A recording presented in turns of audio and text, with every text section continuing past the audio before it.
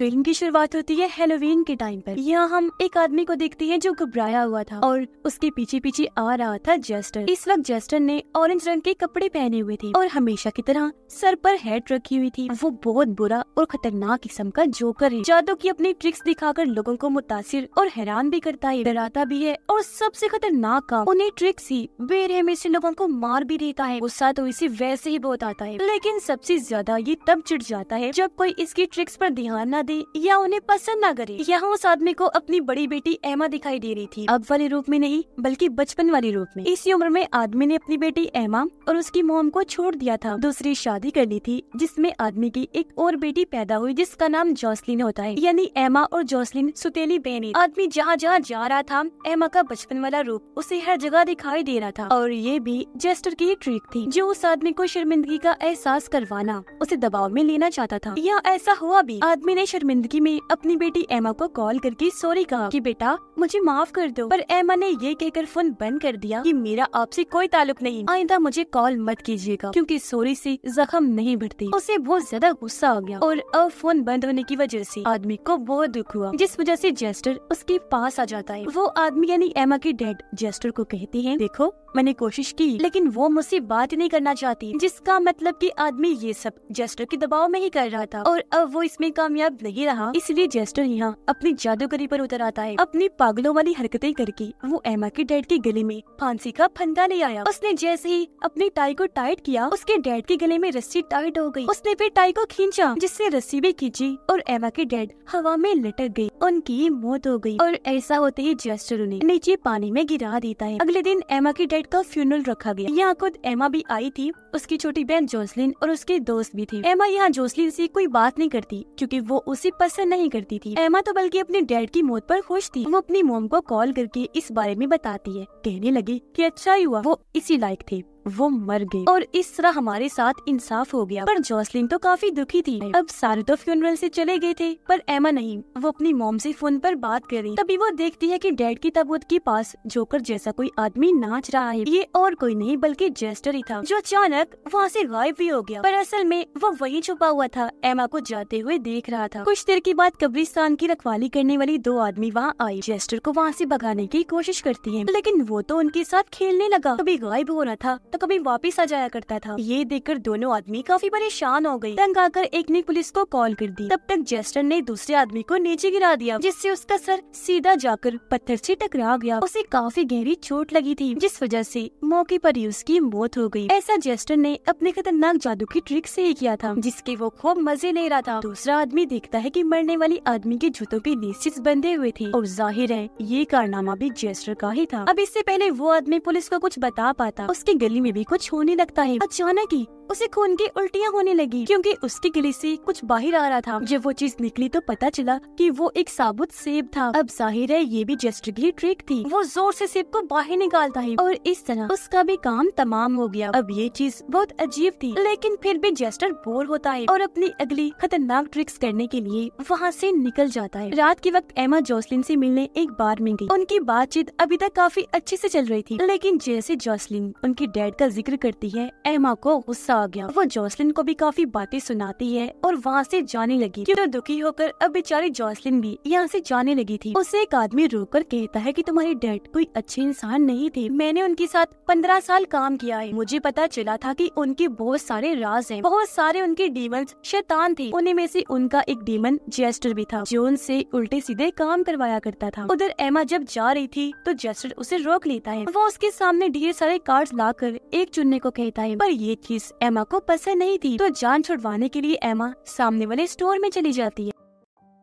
Gesture भी आगे चल दिया। उसे दो बच्चे मिले जो भाई थे। बड़े वाले ने ढेर सारी कैंडीज उठाई, जबकि छोटे ने ईमानदारी से बस एक ही ली। उसने फिर जेस्टर से भी कैंडी मांगी। तब उसने हवा में जादू करके एक कैंडी बनाई और बच्चे को दे दी। ये देखकर बड़े वाला बच्चा भी आगे आया। वो भी जेस्टर से कैंडी मांगने लगा। पर उसका तरीका ठीक नहीं था। इसीलिए जेस्टर को पसंद नहीं आता। वो बड़े बच्चे की बैग से कैंडीज निकाल कर छोटे वाले की बैग में डाल देता है। ये देखकर बड़े बच्चे को बुरा लगा। वो अपने भाई की बैग में हाथ डालकर अपनी कैंडीज वापिस लेने लगता है। पर बैग से एक हाथ निकलकर उसके हाथ को ही पकड़ लेता है। और ये हाथ जेस्टर का था, क्योंकि तभी उसका हाथ गायब होकर बैग में जा चुका था। ये देखकर दोनों बच्चे काफ़ी घबरा गए। अपने बैग्स वही फेंक कर भाग जाते हैं। घर आकर जॉसलिन टीवी पर ब्राउन फ़िल्म देख रही थी। अचानक उसकी नज़र दरवाजे पर गई, जहाँ उसे एक आदमी की परछाई दिखाई देती है, जो घर के अंदर ही झाँक रहा था। वो भी सोच रही थी कि तभी घर का दरवाज़ा कोई खटखटा देता है। डरते हुए जॉसलिन जब दरवाज़ा खोलती है तो वहाँ उसकी दोस्त थी, जिन्हें वो अंदर बुला लेती है। उधर एमा एक स्टोर में गई, पर यहाँ भी जेस्टर ने उसका पीछा नहीं छोड़ा। वो उसके सामने आकर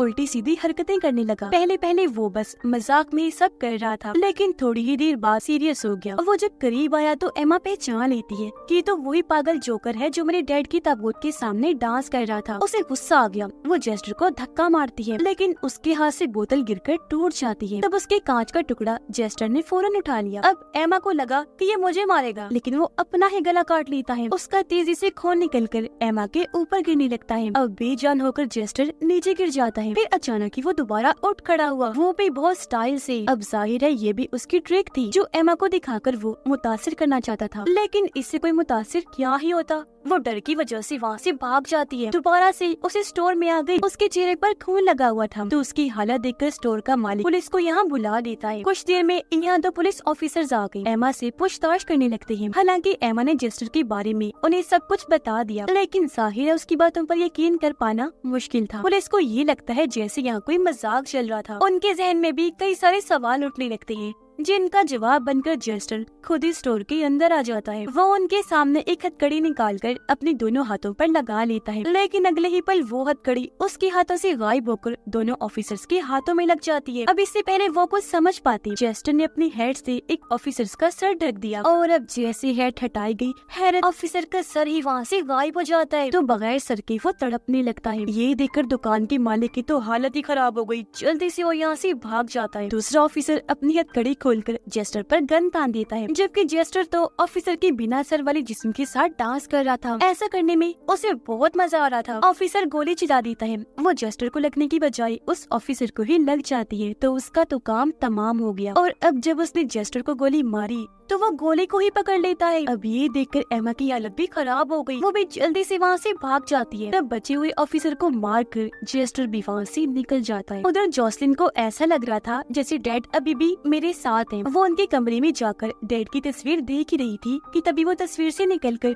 उसके पीछे आ जाते हैं। ये देखकर जॉसलिन काँप उठी, वो नीचे आकर अपने दोस्तों को कहती है, चलो फेस्टिवल में चलते। सब दोस्त फेस्टिवल में तो आ गई पर यहाँ भी जॉसलिन को वही अजीब चीज़ें ही दिख रही थी। तो तंग आकर अब वो एक जगह पर ही बैठ गई, जहाँ उसे अपनी डैड फिर से दिखाई देने लगती है। पर इस बार वो उनके पीछे पीछे ही चली जाती है। तब उसकी सीट पर जेस्टर आकर बैठ जाता है, जो जसलिन की दोस्त के साथ ट्रिक करने लगा। जैसे जेस्टर ने एक कप उठाया, उसके नीचे ताजे निकले हुए दांत होते हैं, जो और किसी के नहीं, बल्कि सामने बैठे जॉसलिन की दोस्त के थे, जिसके मुँह से अब खून आने लगता है। फिर जब उसने दूसरा कप उठाया तो उसके नीचे कुछ नहीं होता। लेकिन जब उसने कप पर हाथ मारकर उसे झटकाया तो उसके अंदर से लड़के की तो आँखें निकली और अब लड़के की आँखों के जाते वो दर्द से चिल्लाने लगा और अब वो इसी हालत में चारों तरफ़ भागने लगा। तब उसकी हालत देखकर लोग डरते हुए भागने लगे। कुछ नज़र न आने पर लड़का सीधा अपनी दोस्त के ऊपर जाके गिरता है। इसीलिए उसके दोनों दोस्त उसे पकड़ के साइड में ले जाते हैं। उन्होंने देखा कि जॉसलिन एकदम सुन खड़ी है, क्योंकि इस वक्त वो ख्याल में अपने डैड के साथ अपना बचपन देख रही और अब जेस्टर, जॉसलिन की दोस्त के पास आकर उसकी टांग में अपनी छड़ी अटकाकर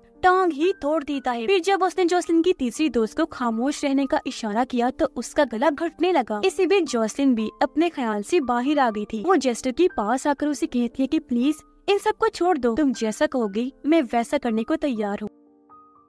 उधर एमा अभी भी भाग रही थी, जहाँ तभी उसके पास मॉम की कॉल आती है, जो भी और किसी का नहीं, बल्कि जेस्टर का ही कारनामा था। वो इशारों में बोल रहा था और एमा को उसकी मॉम की आवाज़ में वो बातें सुनाई दे रही थी। अब जेस्टर चाहता था कि एमा सब कुछ भूल कर चुपचाप यहाँ से चली जाए। अगर वो ना गई तो ये खेल ऐसे ही चलता रहेगा। लेकिन यहाँ जेस्टर ने ये बातें करते करते जॉसलिन का भी नाम ले दिया कि वो भी खतरे में है, महफूज नहीं है। अब ज़ाहिर है, वो थी तो एमा की बहन ही, इसलिए जॉसलिन को लिए बगैर ये नहीं जाए। एमा के सामने वही पुल था जहाँ इसकी डैड मरी थी, पर अब वो वहीं खड़े हुए थे, इसीलिए वो भागकर उनके पास जाती है, जहाँ डैड उसे उसकी गलती का एहसास करवाती है। उसे भी हो गया एहसास, इसीलिए रोते हुए पहली बार उन्हें डैड कहती है, यानी एमा ने आज उन्हें माफ़ कर दिया था। पर अब उसकी डैड अपने गले का फंदा एमा के गले में डाल देती है। रस्सियों से खींच कर पुल से नीचे गिरा देती है। जहाँ उसे जॉसलिन की बचपन का वक्त दिखाई देने लगता है। वो एमा को बुरा भला कहकर उसे जलील कर रही लेकिन वो समझ गई थी कि ये असली जॉसलिन नहीं है, बल्कि छलावा है। मुझे फंसाने के लिए ये वह मेरे दिमाग में डाला जा रहा है। इसलिए वो इस पर खास ध्यान नहीं दी। और फिर तभी छोटे जॉसलिन अपने डैड के साथ सामने वाले शर्ट में चली जाती है, जहाँ जेस्टर भी था। उसने एमा को भी इशारा किया तो वो भी अंदर चली जाती है। वो यहाँ जॉसलिन का अपने डैड के साथ